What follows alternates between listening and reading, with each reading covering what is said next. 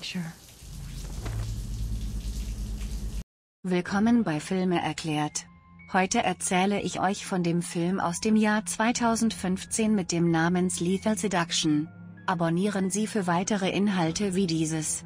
Aktivieren Sie Benachrichtigungen, damit Sie unsere neuen Filme nicht verpassen, und klicken Sie auf Gefällt mir, um den Kanal zu unterstützen.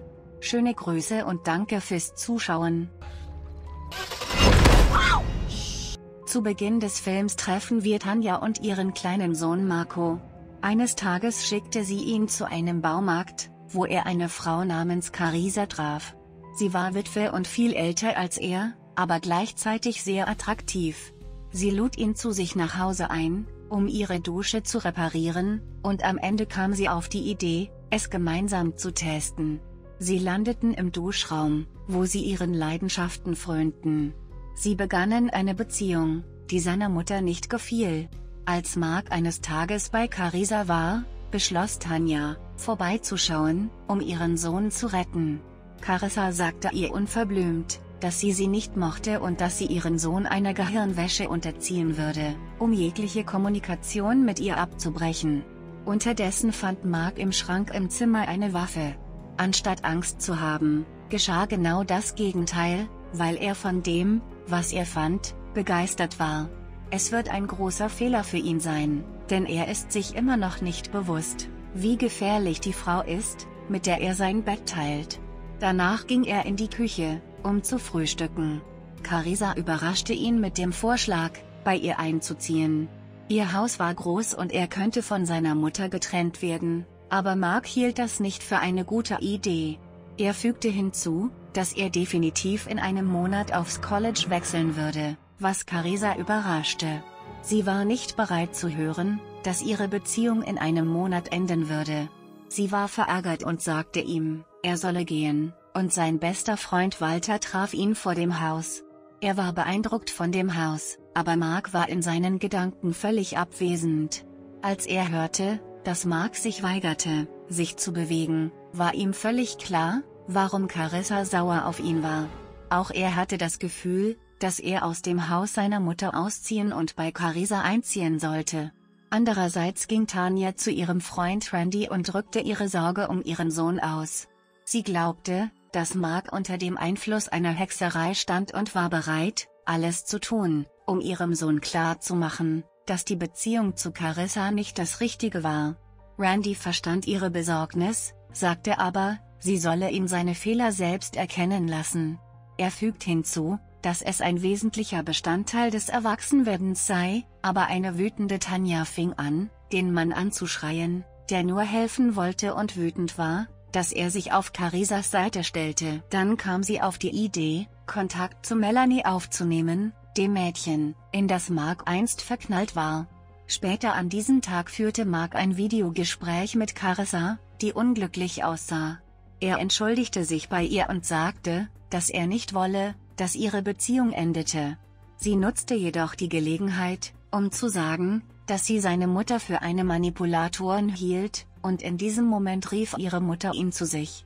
Das ärgerte Carisa noch mehr und als Mark den Raum verließ, sah er Melanie, die von Tanja eingeladen wurde. Carissa war vom Warten nervös und schenkte sich einfach etwas Alkohol ein.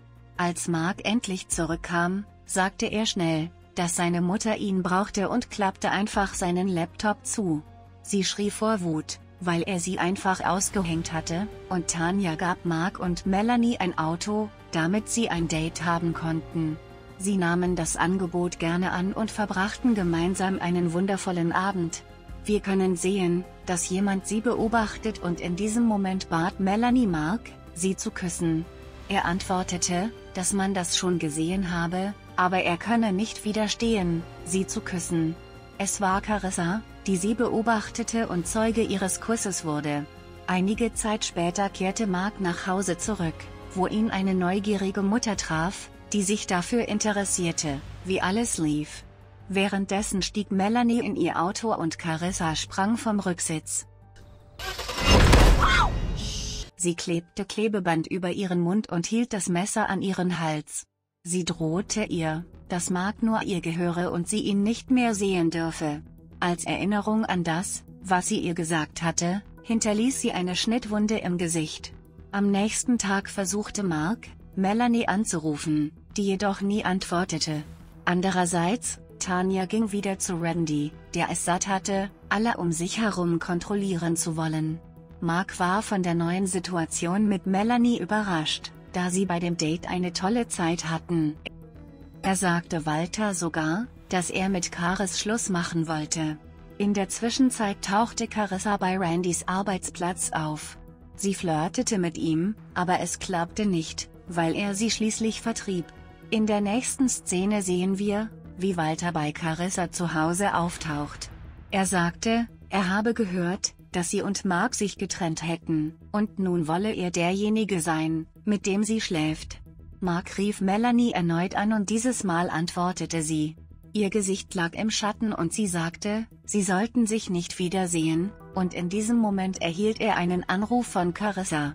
Sie erzählte ihm, dass an diesem Abend eine Freundin von ihr kommen würde, der sie ihre Bewerbung vorlegen könne. Er zögerte zunächst, stimmte aber schließlich zu, weil er davon träumte, dass seine Bewerbung ein Erfolg werden würde. Tanja war enttäuscht, dass er die Frau wiedersehen würde, die vor das Haus kam, um ihn zu fesseln. Einige Zeit später lernte er ihre reiche Freundin kennen, die er durch seine Arbeit bekannt machte. Leider war das Feedback nicht vielversprechend, da der Mann ihm sagte, dass sie in ihrem Unternehmen bereits etwas Ähnliches verwenden. Er ging und Mark wollte gerade gehen, aber Carissa bat ihn zu bleiben, damit sie ein Glas Champagner trinken konnten. Er beschloss, trotzdem zu gehen, und als er sich umdrehte, schlug sie ihn mit einer Flasche. Die Nacht brach herein und Tanja versuchte, Mark anzurufen. Er war bei Carissa, die ihn gefesselt hat. Er fragte, warum er ihm das antue, und sie beschuldigte ihn, sie angelogen zu haben, weil er sie liebte. Sie wollte nicht, dass es nur ein vorübergehendes Abenteuer war, und dann fing sie an, ihn zu küssen. Als Tanja am nächsten Morgen aufwachte, stellte sie fest, dass Mark immer noch nicht zurückgekehrt war. Sie ging in sein Zimmer und fragte sich, wo er sein könnte, dann hinterließ sie eine Sprachnachricht für Walter. Mark war immer noch mit Karis in der Sauna und sie beschloss, ihn weiter zu quälen. Er war wegen der übermäßigen Hitze sehr durstig und sie verschüttete die Wasserflasche vor seinen Augen. Danach nahm sie einen scharfen Metallstab und verursachte eine Wunde in seinem Bauch. Er schrie vor Schmerz und Tanya ging erneut zu Randy, um mit ihm zu sprechen, und sagte ihm, dass ihr Sohn vermisst wurde. Carissa nahm sein Telefon und sah, dass Tanya 35 Anrufe verpasst hatte. Sie beschloss, in seinem Namen eine Nachricht zu senden und schrieb, ich bin bei Carisa, komm und hol mich ab. Sie hatte ein finsteres Lächeln im Gesicht und hielt gleichzeitig eine Waffe in der Hand.